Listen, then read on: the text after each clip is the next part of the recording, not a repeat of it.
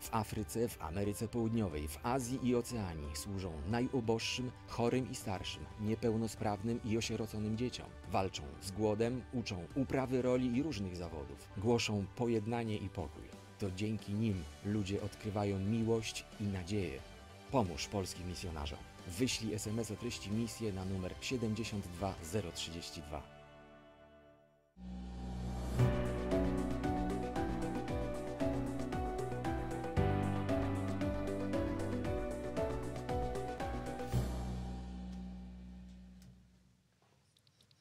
To jest temat dnia. Ewa Piotrzak, witam serdecznie. Dzień dobry. A dziś naszym gościem jest redaktor Cezary Gmys, dziennikarz śledczy, Tygodnik do Rzeczy. Dzień dobry. Dzień dobry i Telewizja Republika. Także, pewnie, pozdrawiamy serdecznie. Y, Ciąg dalszy afery taśmowej, tym razem w rolach głównych Paweł Graś i Jan Kulczyk. Kolejna odsłona afery podsłuchowej. Dziennikarz tygodnika do rzeczy Cezary Gmys w najnowszym numerze ujawnił nowe stenogramy wskazujące na powiązania polityków rządzącej wówczas Platformy Obywatelskiej z polskimi i niemieckimi biznesmenami, którzy mieli wpływać na wolność słowa w Polsce. Chodzi o rozmowy byłego rzecznika rządu PO-PSL Pawła Grasia z biznesmenem Janem Kulczykiem. Rozmowy miały miejsce 17 kwietnia 2014 roku w Pałacu Sobańskich. Według tygodnika do rzeczy Jan Kulczyk za namową Pawła Grasia miał doprowadzić w 2014 roku do usunięcia ze stanowiska redaktora naczelnego dziennika Fakt Grzegorza Jankowskiego. Była to kara za krytykę rządu. Były rzecznik rządu Donalda Tuska poinformował Kulczyka, że o sytuacji w fakcie rozmawiał z kanclerz Niemiec Angelą Merkel. Sześć tygodni po rozmowie Grasia z Kulczykiem ze stanowiska redaktora naczelnego Faktu usunięto Grzegorza Jankowskiego. Chyba, panie redaktorze, nie poczuł się pan zaskoczony tą inter- interwencją w dzienniku Fakt. Ja, miałem swoje osobiste przeżycie z Pawłem Grasiem, kiedy Paweł Graś w em, 2012 roku, czyli dwa lata wcześniej, w październiku, koło śmietnika sejmowego spotykał się z Grzegorzem Hajderowiczem. W następnych dniach została szczyszczona redakcja Rzeczpospolitej, kierownictwo, poleciał redaktor naczelny zastępcy, kierownik działu krajowego oraz ja, a oprócz tego w parę mm, tygodni później została wyczyszczona cała redakcja najpopularniejszego wówczas tygodnika, a, uważam, że która została de facto zmuszona do odejścia poprzez obsadzenie, na, na, kiedy obsadzono na stanowisko redaktora naczelnego na człowieka, który nie gwarantował niezależności dziennikarskiej, czyli Jana Pińskiego. Mhm. E, Tak naprawdę ta ostatnia afera e, taśmowa to dowodzi tego, w jaki sposób działała ówczesna władza, czy, na, czy tak naprawdę y, dowodzi tego, jak wielkie wpływy w ówczesnych mediach miał Jan Kulczyk. Dowodzi tego, że przede wszystkim rząd Platformy chciał zwasalizować sobie media. E, Zaczęło się rzeczywiście od e, dziwnej sprzedaży Rzeczpospolitej Grzegorzowi Hajdarowiczowi i odwołaniu Pawła Lisieckiego ze stanowiska ówczesnego redaktora naczelnego, no a następnie czyszczenia właśnie tej redakcji, ale również wasalizowania innych mediów. Swojego czasu Andrzej Wajda mówił o zaprzyjaźnionych telewizjach, mając na myśli mm, Polsat e, oraz e, TVN i TVN24 i te media były tak naprawdę kompletnie powolne Platformie Obywatelskiej. Wszystkie media niezależne bytowały w jakichś niszach, nie mogły liczyć na dużą oglądalność. Wtedy, kiedy nas wyrzucono z Rzeczpospolitej, powołaliśmy co prawda telewizję Republika, no, ale to była telewizja i jest nadal telewizja bardzo niskobudżetowa, oczywiście mająca swoich wiernych fanów, ale nie mająca, powiedzmy sobie szczerze, takiej siły rażenia jak TVP Info czy a, TVN24. A, mnie ta rozmowa Pawła Grasia zupełnie nie zdziwiła,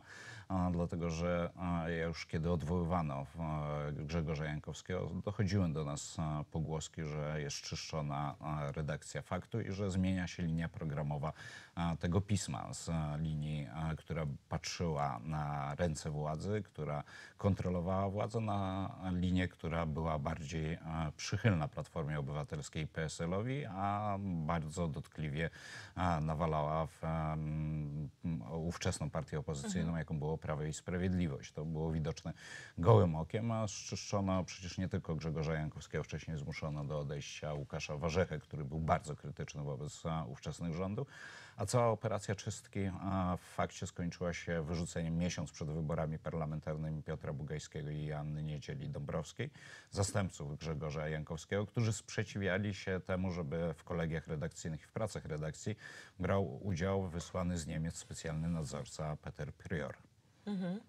No właśnie, ale Paweł y, Graś żalił się Janowi Kulczykowi, że dziennik Fakt tak naprawdę stosuje hejt i to jednostronny hejt, krytykuje rząd, premiera y, i nawet y, jego córkę. Rzeczywiście to był taki jednostronny hejt? Nie, Grzegorz Jankowski mm, prowadził tytuł, który był tytułem zbalansowanym. A fakt oczywiście z natury jest e, medium tabloidowym, nie jest tak medium poważnym jak tak zwane gazety opinii, natomiast bardzo mocno kształtuje tą opinię i to bardzo szeroko, no bo sama sprzedaż egzemplarzowa faktu to jest około 300 tysięcy egzemplarzy czytelników. Każdy egzemplarz ma kilka, więc ta, ten sposób prezentowania rządów Platformy Obywatelskiej dla Platformy Obywatelskiej był dotkliwy. Tutaj była mowa o hejcie wobec e, dzieci Donalda Tuska, tylko że przypomnijmy, no, ta sprawa zaczęła się od e, afery Amber e, Gold, kiedy to okazało się, że młody Donald, e, syn Donalda Tuska, czyli Michał, znalazł zatrudnienie w e, spółce Porty Lotnicze w e, Gdańsku. No i istniało podejrzenie, że mógł no, działać przeciwko konkurencji. Z drugiej strony córka Donalda Tuska prowadziła, Katarzyna Tusk prowadziła jeden z najbardziej popularnych blogów modowych i była tak naprawdę celebrytką. No, to, że pojawiała się bez przerwy na ściankach, to musi wywoływać zainteresowanie tabloidów i to było naturalne, że tabloidy się przyglądają również rodzinie premiera Donalda Tuska. Tak teraz jest zresztą obecnie przyglądają się bardzo intensywnie rozmaite media rodzinie pana prezydenta czy Marcie Kaczyńskiej. Chociaż Agata Duda na przykład unika mediów jak Ognia, prowadzi swoją działalność, głównie działalność charytatywną, czy Marta Kaczyńska też nie błyszczy na ściankach, tylko no, prowadzi praktykę adwokacką. Mimo tego tabloidy się nią interesują. Panie redaktorze, sześć tygodni to dużo czy mało, jeśli chodzi o zwolnienie redaktora naczelnego i znalezienie nowego człowieka na to miejsce? No, Jan Kulczyk na tym nagraniu powiedział, że mm, ta sprawa nie będzie pilna, więc e, jak się wydaje, mm, jeżeli podjął jakieś działania, czemu zaprzecza wydawnictwo Axel e, Springer, no to 6 tygodni to jest wystarczający okres, żeby e, tego typu sprawę załatwić. A jeszcze po pewnym czasie odkryłem, że był jeszcze jeden fakt. Już po spotkaniu Donalda Tuska z, e, przepraszam, Pawła Grasia z e, Janem Kulczykiem, Tydzień później a Donald Tusk rozmawiał z kanclerz Angelą Merkel. Wiemy, że wcześniej były takie rozmowy, bo to e, Graś mówi na tej taśmie jednoznacznie pytany przez Jana Kulczyka, czy Merklowa coś mówimy, a odpowiada... Że nie, to jest tylko sprawa biznesowa. Rozmawialiśmy z nimi, no, de facto spuścili nas, uznali, że to jest tylko czysty biznes. No, kto wie, czego dotyczyła ta rozmowa już po rozmowie Kulczyk-Graś Donalda Tuska z Angelą Merkel. No, skoro pięć tygodni z kolei po tamtej rozmowie nagle Grzegorz Jankowski przestał być redaktorem naczelnym faktu w sposób zupełnie nie, niespodziewany. To była dymisja, której on się nie spodziewał do tego stopnia, że a, rozpłakał się na a, pożegnaniu z zespołem redakcyjnym. Co musiał obiecać Jan Kulczyk? Musiał powiedzieć, że odwdzięcza się?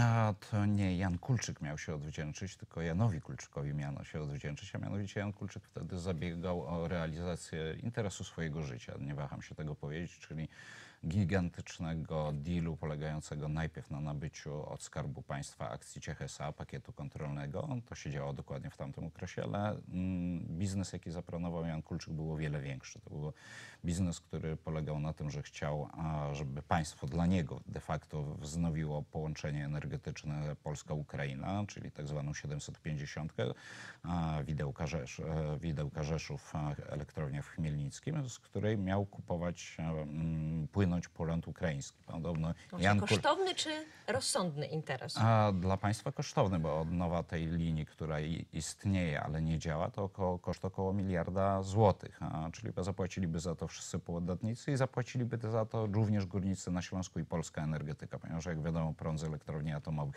jest prądem śmiesznie tanim, wobec czego a, nasza energetyka i przede wszystkim górnictwo węglowe straciłoby e, rację bytu. Owszem, być może spadłyby trochę ceny dla dla e, odbiorców końcowych, natomiast no, przede wszystkim zarabiałby na tym Jan Kulczyk, w czym też nie ma nic złego, tylko wolałbym, żeby e, biznesmeni realizowali te pieniądze te swoje interesy, za swoje pieniądze, natomiast e, żeby na Śląsku nie było bezrobocia, no bo górnictwo nadal jest jedną z głównych gałęzi, które utrzymuje Śląsk i tak powinno zostać, o to walczymy. Innym elementem tego biznesu planowanego przez Jana Kulczyka był również biznes na państwowym majątku, a mianowicie na gazoporcie w Świnoujściu. Jan Kulczyk planował zmonopolizować dostawy do gazoportu z Kataru i z Nigerii. On tutaj też byłby pośrednikiem, a na dodatek miał ten a, gaz eksportować jeszcze dalej na Ukrainę. A z geopolitycznego punktu widzenia to był bardzo zresztą ciekawy pomysł, bo w pewnym sensie uniezależniłby a, Ukrainę od dostaw a, rosyjskich. Natomiast no, pytanie, czy... Komu się to bardziej opłacało? przede wszystkim to by się opłacało Janowi Kulczykowi. Polsce muszę też przyznać politycznie, że to był ciekawy pomysł, tylko nie jestem pewien, czy on powinien być realizowany przy pomocy prywatnego biznesu, czy też podmiotów państwowych, bo w naszym interesie oczywiście jest utrzymywanie niepodległości Ukrainy i zmniejszanie jej zależności od Rosji, przyciąganie Ukrainy do Polski. Natomiast wolałbym, żeby to robiły akurat podmioty państwowe, a nie w tym przypadku prywatne, chociaż jestem wielkim wielbicielem własności prywatnej. Panie redaktorze, jak dzisiaj zapobiegać takim praktykom? Repolonizacja mediów to jest odpowiedź? Pytanie, jak to przeprowadzić, dlatego że my mamy w tej chwili do czynienia z sytuacją no, naprawdę przerażającą, jeżeli chodzi o nasz rynek mediów a, i repolonizacja nie zawsze jest też rozwiązaniem. Przypomnijmy, że Rzeczpospolita została zrepolonizowana, no bo Grzegorz Hajdarowicz a, to jest polski kapitał, no, ale wykończył de facto cały zespół redakcyjny tygodnika, uważam, że i częściowo Rzeczpospolitej, więc to nie zawsze jest najlepszy sposób. Ja pamiętam, że um, największe czasy mm, niezależności Rzeczpospolitej były, kiedy ona była własnością Brytyjczyków, Mekomu. Natomiast wpływy niemieckiego kapitału przede wszystkim w mediach polskich i promowanie też niemieckiego punktu widzenia jest to coś, co jest bardzo niebezpieczne. Dość powiedzieć, że największy polski portal, Onet, jego właścicielem jest Axel Springer. Jeden z największych polskich tygodników, Newsweek, prowadzony przez Tomasza Lisa, jest własnością niemiecką. Fakt, największy polski dziennik jest własnością niemiecko-szwajcarską. A, Mógłbym wymienić No i również... się uśmiechać.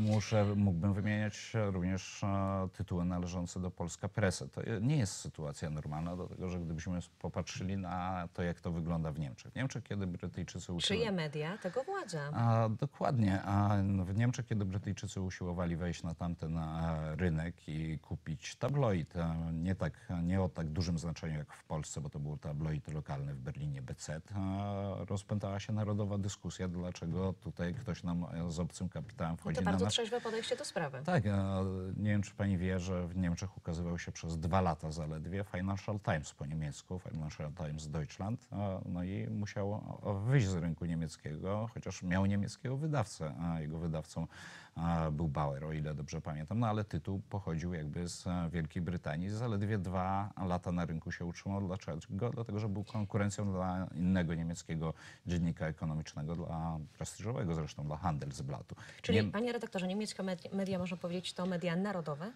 Niemieckie media z całą pewnością to media narodowe, chociaż nie wszystkie mają siedzibę w Niemczech, bo w ramach tak zwanej optymalizacji podatkowej największa prywatna niemiecka stacja telewizyjna, jaką jest RTL należący do Bertelsmana, firmy niemieckiej, siedzibę ma w Luksemburgu, ale to tylko ze względów podatkowych. A owszem, jeżeli chce mnie pani zapytać, czy kapitał ma narodowość, ma.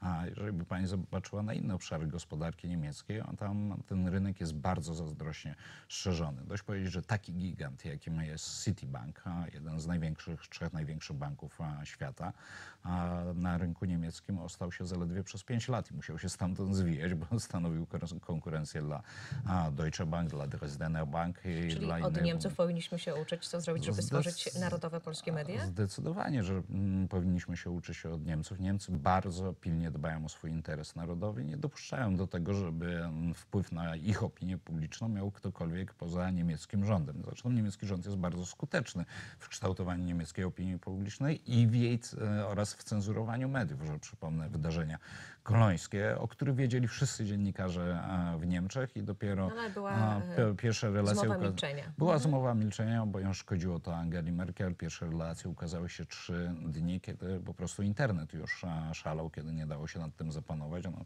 no jednak mimo wszystko molestowanie około tysiąca kobiet podczas Sylwestra w Kolonii i w innych miastach, a no, było to coś szokującego. Ale i No tak przez dłuższy moment poprawność polityczna była ważniejsza, prawda? a, dokładnie tak i Niemcy rzeczywiście o to potrafią dbać a, i my dokładnie, jeżeli z jakiegoś kraju powinniśmy czerpać wzorce, to powinniśmy czerpać wzorce od najlepszych, czyli od Niemców. Oni prowadzą bardzo skuteczną politykę i propagandę, dlatego że Niemcy prowadzą również propagandę przy pomocy mm, tak zwanej dyplomacji publicznej, no, chociażby obecność niemieckich fundacji w Polsce, z których finansowania zresztą ja sam korzystałem, a są rzeczywiście ze stypendiów i z a, pomocy dla fundacji, która z kolei w Polsce prowadziła programy dla niemieckich dziennikarzy.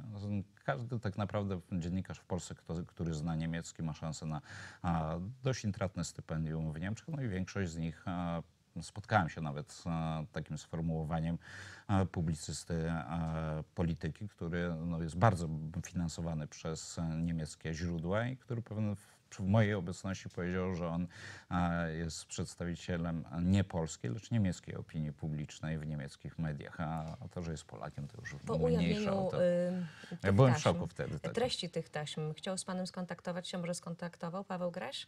E, Nie, Paweł Graś jest nieosiągalny, nie tylko zresztą dla mnie. E, Miał wyłączony telefon. E, Z tego co wiem, jedyną redakcją, której się udało do niego dotrzeć był Financial Times, który opisał, zresztą opisuje dzisiaj Też nie chciał sprawę. komentować. Mhm, I Paweł Graś sprawy. odmówił komentarza w tej sprawie. No, nie dziwię się, bo komentowanie w tej sprawie musiałoby być bardzo kłopotliwe. Natomiast ja uważam, że publicznie przy najbliższej okazji, jaka będzie, powinno się zadać te pytanie nie tylko Pawłowi Grasiowi, ale i Donaldowi Tuskowi. Jestem przekonany też, że te pytania powinna zadać nie tylko brać dziennikarska, ale również panowie i panie prokuratorzy. Mhm.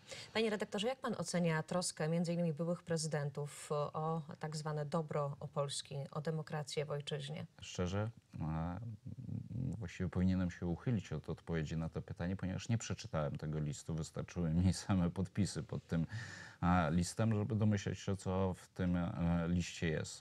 Tutaj też mamy do czynienia z zorganizowaną akcją, być może akcją nawet lobbyingową, sterowaną przez jakąś m, firmę Public Relations. Dla mnie to nie ulega wątpliwości. I To jest mamy dobry zabieg medialny? mm, Coraz gorzej e, Polacy to znoszą, bo coraz większa inflacja słów jest. To jest troszeczkę tak jak w tej e, bajce o tym chłopcu, co latał e, po podwórku i krzyczał wilki, wilki. A, I kiedy przyszły naprawdę wilki, no to nikt już na to nie zwracał uwagi. I w tej chwili te znaczenie Lecha Wałęsy, Aleksandra Kwaśniewskiego, Włodzimierza Cimoszewicza, Bronisława Komorowskiego to są polityczni emeryci, aczkolwiek reprezentujący nadal swoje ugrupowania, z których wyszli. To dla mnie nie ulega wątpliwości, że zachowują się jak czynni, a nie politycy, których czas dobiegł końca i po prostu dbają o interesy swoich ugrupowań. Te interesy są jasno zdefiniowane. Cały ten jazgot, z którym mamy do czynienia, polega na tym, że po prostu utraciły te osoby władzę, władzę, która wydawała im się dana na zawsze. Żadna władza nie jest dana na zawsze, PiS też kiedyś Ciągle rządzić. porażkę?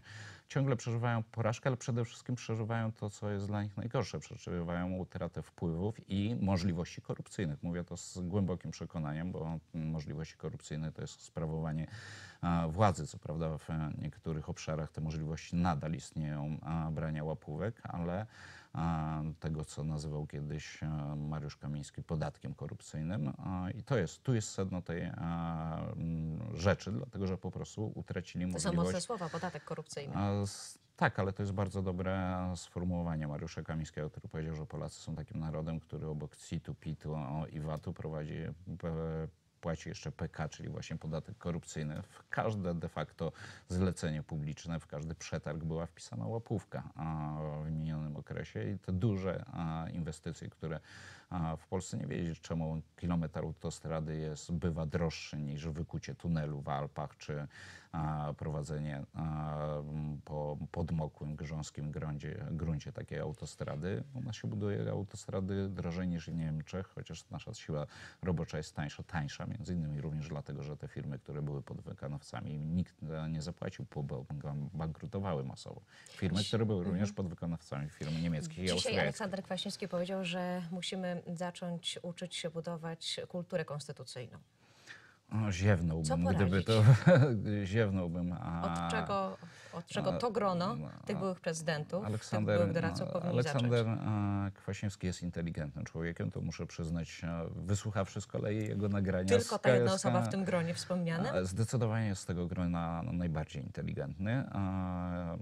Słychać to było na taśmie z Kaliszem, że to jest osoba, która ma bardzo wiele rzeczy w głowie poukładanych, natomiast jest to niezależnie od tego, że był prezydentem w III Rzeczypospolitej, jest to człowiek mentalnie też zakorzeniony w e, komunizmie i w PRL-u. I to, że e, jest inteligentny, no to e, Mieczysław Rakowski też był inteligentny, Jerzy Urban też jest inteligentny, tylko że to jest pewnego rodzaju diaboliczna inteligencja. Zresztą po wyborach prezydenckich powiedział, że jest ogromna różnica między prezydentem Andrzejem Dudą a prezydentem Bronisławem Komorowskim. Że tu No, to widać jest, e, energię, inteligencję. A To jest e, gigantyczna różnica rzeczywiście na korzyść Andrzeja Dudy. Ja troszeczkę I mówił o tym były prezydent Aleksander Kwaśniewski. No, Ja to zauważyłem stosunkowo wcześnie, kiedy Andrzej Duda w lutym ubiegłego roku miał 6% poparcia. Goszcząc go w swojej audycji, skończyłem tą audycję słowami, że Pamiętam, moim... kroił chleb i a, zrobił znak krzyża. Tak, że skończyłem tą audycję słowami, że moim państwa gościem był pierwszy prezydent, e, e, przyszły prezydent Polski, co się spotkało z powszechną szyderą na Twitterze, podobnie jak wpisałem, że Andrzej Duda będzie prezydentem, więc e, jeżeli jesteśmy w telewizji katolickiej, mogę powiedzieć, że pewne dary profetyczne posiadam. To za kilka lat kto będzie prezydentem? A w następnej Kolejnej kadencji, kadencji. w kolejnej kadencji będzie prezydentem Andrzej Duda, a jako jego ka- kontrkandydaci wystąpią następujące osoby z Platformy Obywatelskiej albo sam Donald Tusk, ale wątpię. E, Myślę, że będzie to Jerzy Buzek. Nowoczesną będzie reprezentował Ryszard Petru, natomiast e, pojawi się również kandydat tak zwany niezależny i będzie nim najprawdopodobniej Czy to Mateusz, słowa proroka? Mateusz Kijowski. Proszę sprawdzić za? 4 lata, odwinąć taśmę, zobaczymy, czy... No oczywiście będzie jeszcze cała masa tak zwanych kandydatów niezależnych. Ja Jestem przekonany, że Mateusz Kijowski z kodu mierzy w prezydenturę i widzi siebie w pałacu Kobiety powinny poczuć się zaniepokojone. Myślę, że kobieta też przy co najmniej jedna wystartuje. Mhm. Redaktor Cezary Gmys w Tygodnik do Rzeczy, a także Dziękuję Telewizja bardzo. Republika. Serdecznie dziękuję. To był temat dnia. Do zobaczenia. Siedzimy jeszcze, bo